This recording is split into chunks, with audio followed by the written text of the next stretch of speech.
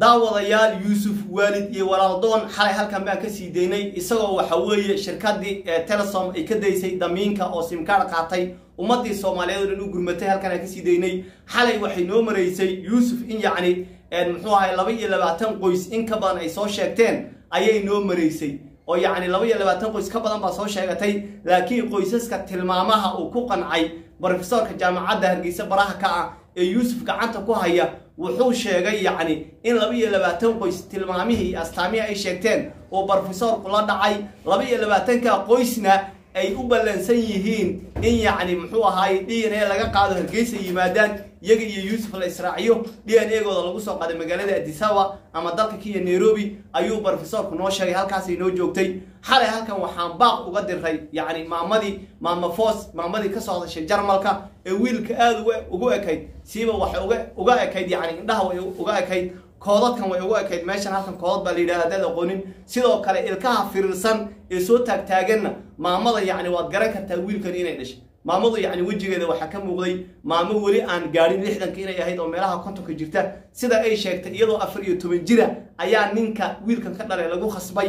Marka hadday kuula ekaatay maamadu iyo wiilka inay da-doodu farqi yar u dhexeeyo yacni iyadoo gabadha oo shan iyo toban jira ama afar iyo toban jira ayay dhashay. Sidaasay weli ay u tahay maama foos sidaasay weli dhalinyaro u tahay. Marka maama foos waxay sheegtay ninkan sagaal cunug inay la dhasheen reer dhicis cabdibiriq oo degan muxuu aha magaalada beled xaawo inuu la dhashay ayay sheegtay. Yacni sawiradoodii xalay waxaan halkan baaq u diray reer dhicis cabdibiriq in ay yacni qayb siiba ragga in ay sawiradooda soo diraan maanta maadaama meel kasta mobile yaallo si yacni loogu fiiriyo wiilkan si sawirkooda loogu fiiriyo inay sawiradooda soo diraan ban xalay halkan baaq uga diray. Durbo sawiradii bay soo direen sawiradan aad daawanaysaan ee aad aragtaan ee shaashada saaran reer dhicis cabdibiriq weeye yacni waxa weeye waa odaygii aabihii ahaa iyo wiilkii la dhashay. Balse isku eg yihiin fiir meel kasta way iska yihiin. Midabka way madow yihiin. Saalaxyaha fogfog ee dheerdheer muxuu ahay koodadkan ilkahan firirsan. Yacni sinaba looguma kala garan karo. Xoogaa ninka dhallinyarada timihii ee muxuu ahaaye bista ee uu lahaa ninka muxuu ahaa yuusuf. Waalid iyo aabbadoon ma laha. Laakiin waxaa laga yaabaa waalid yuusuf aabihii inuu yani kale aabihiin baan filayaa. Marka daawadayaal yacni waxaa laga yaabaa wiilkan aad u madow ee yuusuf u eg inaad isdhahdo yuusuf timihiisu bis bay dhahayn halkaa meel ayay ku kala duwan yihiin. Yacni yuusuf aabihii nin kale ayuu ahaa. Marka waxaa dhacda labada waalid hadduu mid timahooda bis ahaa oo ilmo bisla iska dhalaan yacni qof buu waalidka u raacaa. Ninkan dambe waxa weye wiilkan madow dhalay waxaa laga yaabaa timihiisu inay bis ahayn baa laga yaabaa. Marka intaa keliya ku kala duwayn waxaan u dabagalay wiilka funaanada arsenal qaba ee sawirkiisa idiin muuqda ee meesha fadhiya waa yuusuf jeexi weeye sinaba laguma kala garan karo laakiin timahay ku kala duwan yihiin yuusufna timihiisu waa bis yalax yalax a weeye. Ma fahamtay ninkanna timihiisu waa gardho ayaa loo yaqaanaa af soomaaliga. Marka timaha yuusuf aabihii ayaa laga yaabaa timihiisu inay bis ahaayeen oo isku aabba ma aha yacni yuusuf islaanta ninkii ka dhalay muxuu ahaayey keligiibuu ka dhalay. Keligii ayuu ka dhalay marka wiilkan funaanada arsenal qaba ee idin hor fadhiya idin muuqda sawirkiisa yacni yuusuf isku hooya yihiin. Reerka yacni yuusuf isku hooya yihiin. Marka yacni durbaba waa daawateen sawiradii baa durbo soo bilowday dadka isku eg ama ishuba sawiradii bay soo qadimeen. Xalay waa tii aan halkan ka codsannay dadka yuusuf la dhashay inay sawiradooda soo qadimaan. Oo yacni nin kastoo yuusuf hooye ah inuu sawiradiisa intii sawiro laga soo qaado ay soo dhigaan baanu codsannay durbo way soo dhigeen. Say isugu eg yihiin waad aragtaa yacni waa lama kala garanayo. Waa wiil iyo yacni jeexi weyn lama kala garanayo. Marka yacni yuusuf ilaahay waxaan u malaynayaa inuu reerkiisa uu siin doono. Waayo waa bilson tobankii dambe ayaa lagu jiraa weliba caawa waa toddoba iyo labaatankii baa la filayaa. Meelaha qaar roob baa ka da'ayay oo yacni jawigu waa degan yahay. Daawadayaal ninkaa miskiinka ah maanta waxa ugu xanuun badan ee haya waa waalid iyo walaal la'aan. Yuusuf anigu waxaan u bixiyey ilaa aabihii iyo reerkiis iyo hooyadii uu ka helo. Waxaan ku wadaynaa magacan aan isticmaalay ee yuusuf waalid iyo walaaldoon yacni abtidoon weligaa ma maqli jirta abtidoon waa nin aabihii abtigii garan waayo marka yuusuf waalid iyo walaaldoon waxaan ilaahay uga baryaynaa daawadayaal maadaama tobankii dambe aan ku jiro in yacni ninkan waalidkii ilaahay u soo sahlo oo uu si deg dega yacni waalidkii dhalay ee dhalay ee dhiigga ahaa ee dhacaankiisi ahaa ee ilaahay ka beeray waxaan leenahay ilaahay ha u soo yacni ha u soo si deg dega ilaahay ha ugu keeno. Sababtoo ah ka waran adigoo aabala-aana oo aabbaha aan garanaynin hooyada aan garanaynin maanta soomaalidu qabiilka halkay ka joogtaan waad aragteen daawadayaal soomaalidu qabiilka halka ay ka joogto maanta waad aragteen haddaad naag guursanayso haddaad shaqo raadinayso yacni ninkani ma tagsan karo muxuu ahay shaqo ma heli karo shaqo iska daa mid xamaaliyuusan heli karin mid siyaasi iska daa maanta four point five baa wax lagu qaybiya inuu xildhibaan u tartamay iyo hami kale iska daa shaqo caadi oo waxa weeye makhaayad uu ka noqdo kabaryeri ama weyter uu ka noqdo ninkan maanta ma heli karo. Soomaalidu heer marka waxay gaadhay reernimada iyo qabiilka wuxuu la gaadhay lagu odhanayo haddaad dhahdo xaaqaha dhulka iga dhiga reerkee tahay degmadeed ka soo jeedaa yaa ku dhalay yaa ku yaqaana yaa damiinkaa ah. Marka waxaanu caqabada ula kulmayaa. Xanuunka haya daawadayl waa dareemi kartaa. Waa nin labadiisii xaas looga qaatay laguma yaqaano garanwaa baa tahay baa looga qaatay. Labadiisii xaasba waxaa looga furay garanwaa baa tahay inaa lilah wa inaa ilah wax ka xanuun badan baa jira.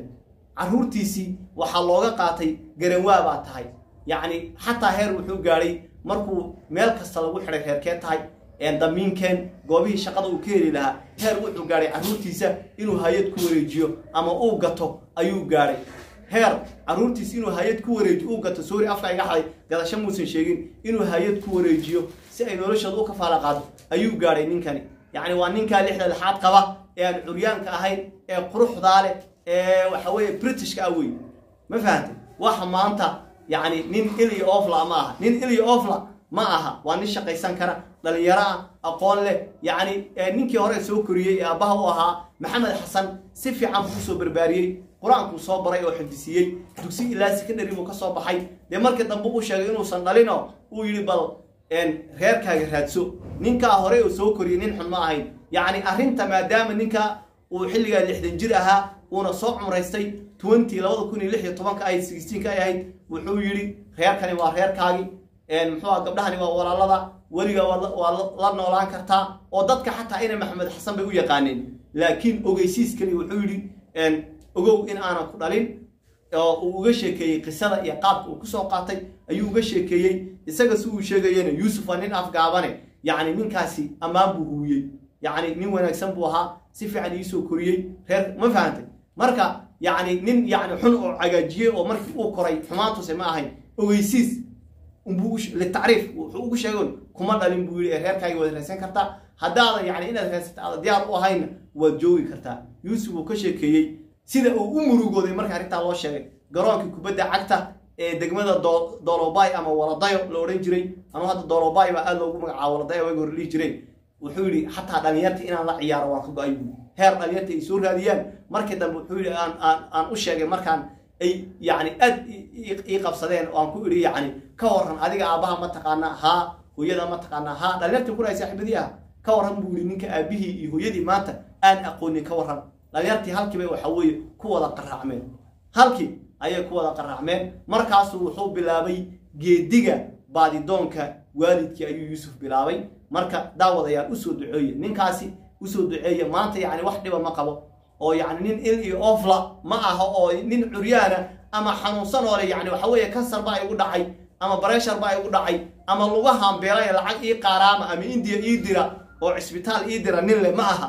Waa nin waalid yacni waalid iyo walaaldoon ah weeye intaa keliya ka maqan. Intaa hadduu helana yacni bulshadiisa ayuu barbarka ka raacayaa. Marka daawadayaal tobankii dambaa lagu jiraa siyaasad iyo qurun iyo xasan sheekhaba xagga ka booday. Iyo deni baa adisaba ka cesheeyey waxaasaad ku wada ordaysaa arrimaha bulshada ha la faafiyo. Ninkani xalay lambarada ii dahab iyo muxuu ahaaye kulli waan soo dhignay. Ninka brofesoorka ah ee ay isku reerka ahayn ee aan aqoonin soomaali cidu ninkan soomaali cidu noqon doona ninka lama yaqaani ayaa sheegay. Oo lambarada u soo furay oo markii dambe waxa weye shirkadda u geeyey. Tifiyada markuu ka hadlay oo ninkii la arkay bulshada falcelinta iyo commentiga ay ka bixinayaan in yacni shirkaddii samteel la caayo ayay samteel wejigabax dartii ugu furtay shirkaduhu waa la yaqaanaa yacni samteel waan u mahadinaynaa laakiin marka hore ayaa ayay ayaad mahadda mudnayd. Intaan ninkan la soo bandhigin. Hadduu si gaara idinku sheegay ninka xafiiska uu tegey ee simkaarka laga qaato manajerka hadduu si gaara xaalkiisa kugu sheegay inuu waalid iyo aabadoon yahay inaad markaaba simkaar siisay ahayd. Laakiin markii laga soo daayay honkable iyo m m t v warbaahintii soomaalida ay dunida daafaheeda u kala faafisay ayaad simkaarka i siiseen.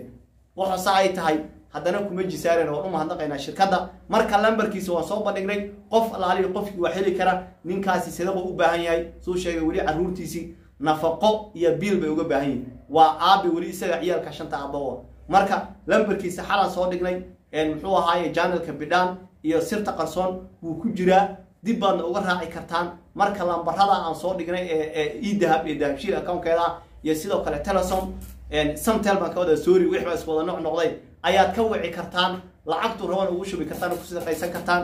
Marka halkan kala socda laba iyo labaatankii waalid ee ee tilmaamaha isku eg sheegay waa ballansan yihiin. D n a baana loo laga wada qaadaya yuusuf iyo laba iyo labaatanka ruux ee waxa weeye astaamaha sheegtay lagu qancay. D n a baa laga wada qaadi doonaa barnaamijkani waa taxane walaalkan yuusuf waalidoon iyo walaaldoon. Waxaan halkan u soo fadhinaa ilaa hooyadii iyo aabbihii dhalay uu ka helo halkan inaan lifekiisa kaga jiro.